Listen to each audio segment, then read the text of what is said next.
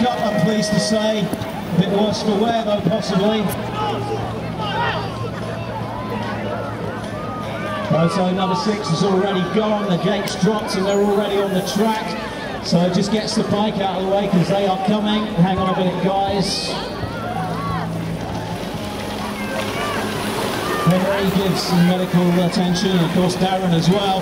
But we're in moto number five. Tom Whipham from Northeast BMX is the man out in front. Whipham did it last time out. Now can he keep it all together to get the win?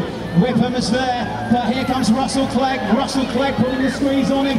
Doesn't quite do it. Scott Ware all over the line for three. And here's the man who is his very first time out today. That's Dave Chew Weaver.